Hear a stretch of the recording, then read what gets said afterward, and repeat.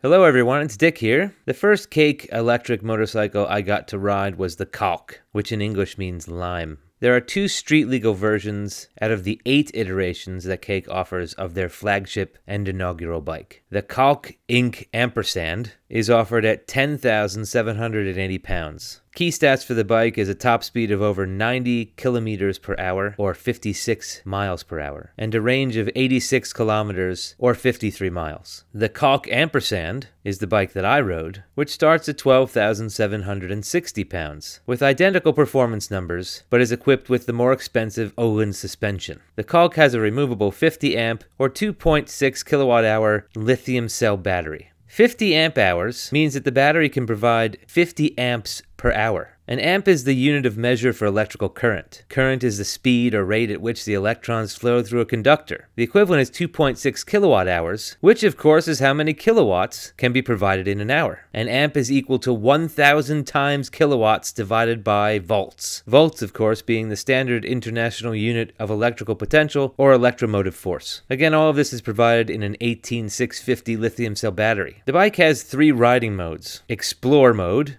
or mode 1, is limited to 45 kilometers per hour, with a 3 to 4 hour range. The Excite mode, or mode 2, is the enduro or active trail riding mode, with 1 to 2 hours of range. And the Excel mode 3 is the track and race mode with maximum torque, which is up to 260 newton meters of torque on some of the Kalk models, and a greatly reduced 1 hour ride time. The Kalk is estimated in ride time as opposed to distance for its range, as it's modeled after an enduro motorcycle. Enduro motorcycles calculate their usage in hours similar to airplanes as they require just as much maintenance. In addition, the Kalk has three braking modes, which allows for various levels of regeneration or simulated engine braking. The freewheel mode 1 provides no regeneration or simulated engine braking. The two-stroke mode has medium simulated engine braking and regeneration, and the four-stroke mode rides nearly like a petrol motorcycle with simulated engine braking and the most available regeneration. It takes 3 hours of charge time from 0 to 100% charge charge on a battery, and 2 hours of charge time from 0 to 80% charge. It is chain driven, although I am told newer versions of the street oriented Kalks will soon have Kevlar belt drives. It's powered by an internal permanent magnet motor, which has 5.8 kilowatts of nominal power and 10 kilowatts of peak power. These power calculations are expressed in kilowatts as an expression of the motor's mechanical output rating, its ability to deliver the torque needed for the load at rated speed, nominal power, meaning regular riding, and peak power meaning riding at its highest performance settings. All of this power is the output of the power at the shaft, not at the wheel. For us old farts used to horsepower statistics, 5.8 kilowatts of nominal power equates to 7.7 brake horsepower, and 10 kilowatts of peak power equals 13.4 brake horsepower. It has 42 newton meters of torque at the motor axle, which translates to a whiplash inducing 252 newton meters of torque at the wheel. It has 200 millimeters of front suspension travel, 205 millimeters of rear suspension travel. It has a 300 millimeter or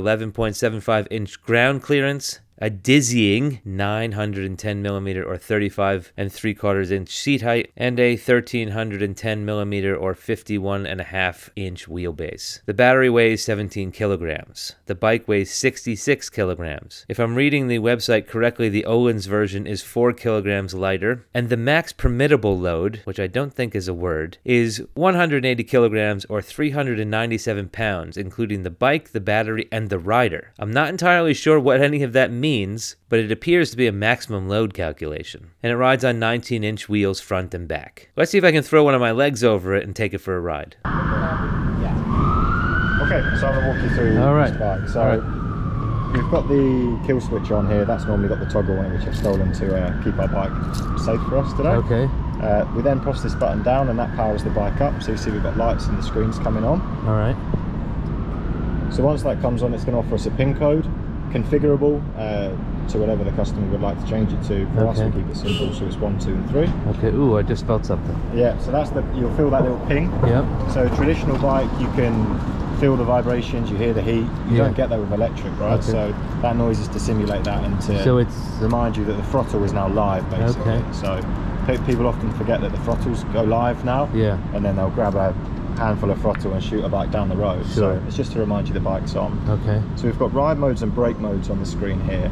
Brake is actually engine braking Oh, and good. regeneration for Oh, the battery. cool. All right. And the ride mode is sort of the aggressiveness of the power delivery uh, and the cap of the top speed. Okay. So ride mode one will cap the bike at around 30 miles an hour. It'll be quite sedate in its acceleration. Yep. Two will cap the bike at 45 miles an hour, a little bit more aggressive in acceleration. Okay. And three will cap the bike at 60 miles an hour Okay. and be the most aggressive Sure. that we've got acceleration. All right. So I tend to start people on two, see how you get on. Okay. We'll pull over a couple of times so you can switch around Sure. and see how the different power feels. Brake modes. So like I said, regeneration and engine braking. One is much like a mountain bike. So as you get off the throttle, the bike will just freewheel. Okay. Two, the bike will feel like a two-stroke bike. So you'll feel a little bit of engine braking. It'll pull you in a little bit. That's going to keep the battery levels topped up. All right. And then three, the same but much more aggressive. So that'll be quite severe engine braking, Okay. much more like a big four-stroke bike, and that's going to give you the best regeneration into the battery. I was going to say, so you're getting more engine braking response from the engine, the motor, yeah, and but you're not, but you're you're actually getting a benefit from. from doing it. Some well. sort of Yeah, regeneration. Yeah, so you're regenerating the battery, keeping the power levels up. Okay. Um, controls-wise, we've got front brake on the right, Yep. back brake on the foot, which Yep. you're already resting on, and then your sort of traditional motorcycle controls on the left, which Okay. I'm sure you're familiar with. Indicator and all that. Indicators yeah. just here, Okay. and then push to cancel, Okay. horn, Yep. high dips, and then you've got a pass light on the front as well. All right. Um, so if you just want to get yourself comfortable and adjust your mirrors and bits and bobs, I'm going to grab a helmet and Okay. we'll get on our way. Cool. Okay? And the severe helmet here on there. There's a beeping and a buzz in my ass. This has a never carry passengers sign on this bike. So you're not allowed to carry pillion on this. I wonder if that's listed on the insurance.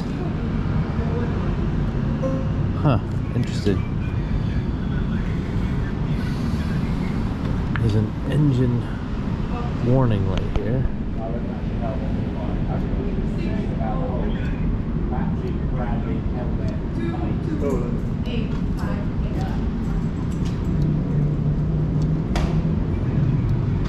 Oh, there's um, electrical tape holding on this indicator. And they're facing up in the sky for some reason.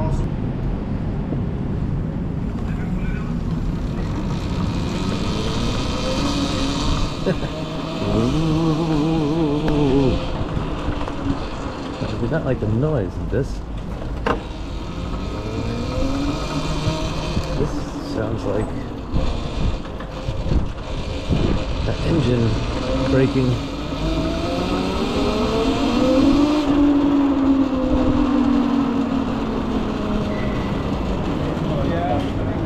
Rear brake is competent, nice and I can lock up that rear brake. Obviously no ABS.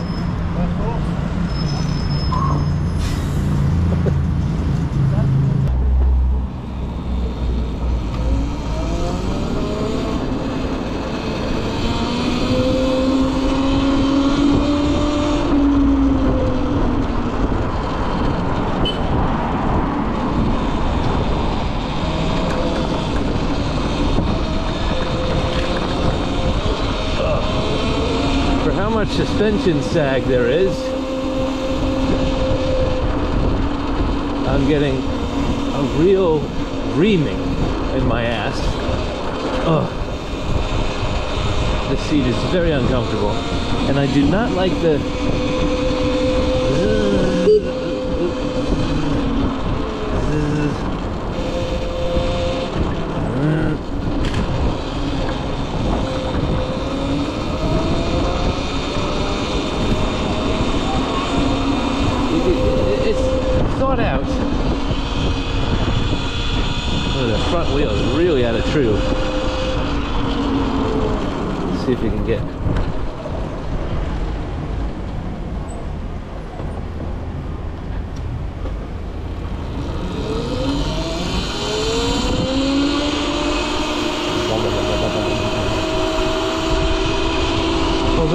kind of designed like a enduro bike. The handlebars are way too low to stand up on pegs.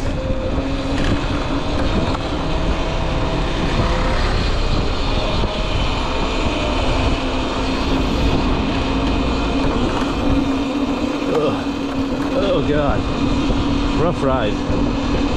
The power is good. The power delivery is good. It feels motorcycle. I'm in ride two and brake two, which means I have a little bit of engine braking.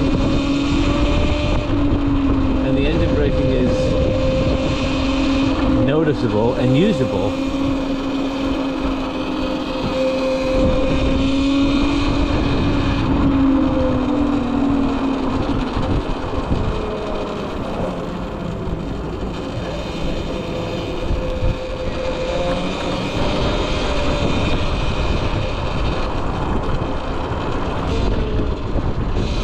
I'm on Regen 3 now.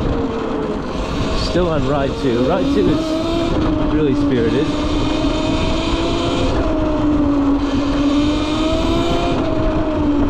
Regen 3 is more noticeable, but I'm going to try his game and see about using the regen instead of the brakes.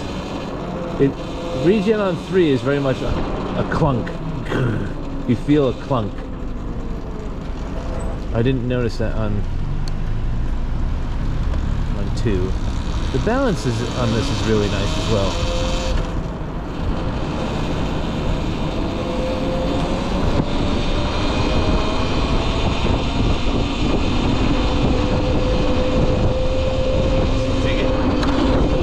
Well, the suspension is nice, it's just the seat that's doing it a disservice. Rise on the bars would be more comfortable, not a short. Uh, a higher rise on the. My, my mirror has given up the ghost. Okay, it's not adjustable that way.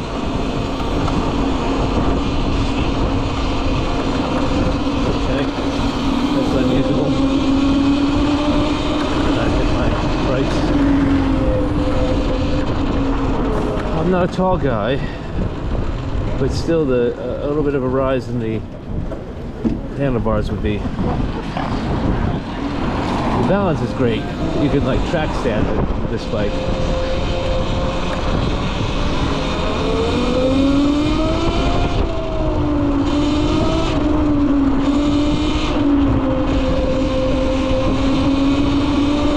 Alright, can I do this on the fine? I can. Uh, woo! Wow. Ride 3 is unbridled.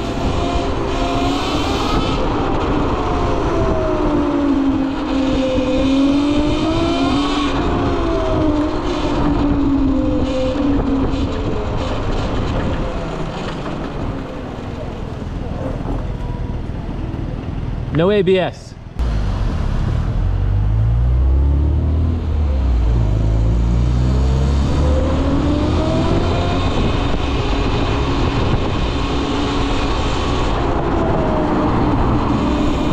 Okay, well, what, uh, I'm having a fun time. I'm smiling. It, it's I always like a motorcycle ride that puts a smile on my face. However, you have to keep in mind that the smile on this bike is coming with a 12 grand price tag. And I'm hoping that maybe the less expensive ones or the lower powered ones will be as fun or as much of a smile on my face. This thing has a ignore me. I just slid.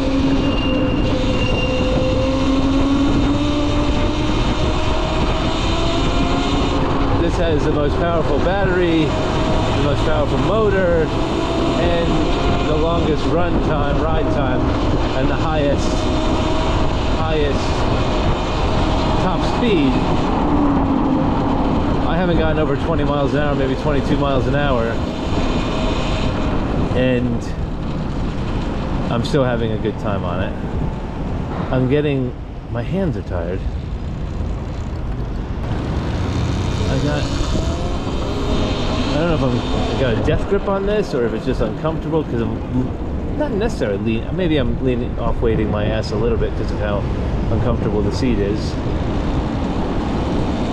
Oh, the balance is amazing on this. It just I can't get over how, other than the the body pains that this thing is inflicting on me, and the weird noises. I don't like these this beep in, at idle, quote unquote idle. I don't like this this kind of sounds like something needs to be adjusted for the the ride sound that we're getting.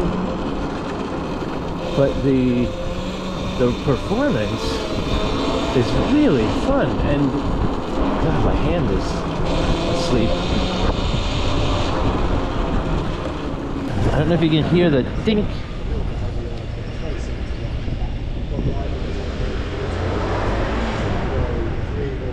Dink. That means it's on. That's the idle. That's the engine kind of at idle. Dink.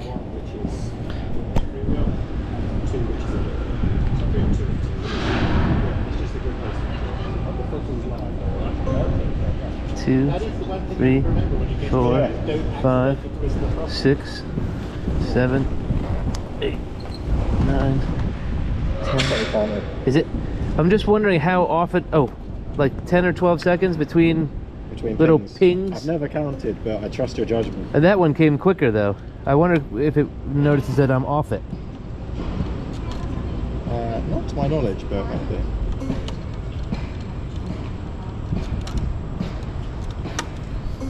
Yeah, that Yeah, was six strange. seconds. When I'm sitting on it, it was like 10 to 12 seconds, and now that I'm off it, it's like six to I'll seven to do some seconds. research on there. I'm not aware of a sensor, but maybe. Okay. Um, Or maybe it's just relieved I'm off it. You got it? that. If you like that video and you want to see more like them, hit like, share, and subscribe.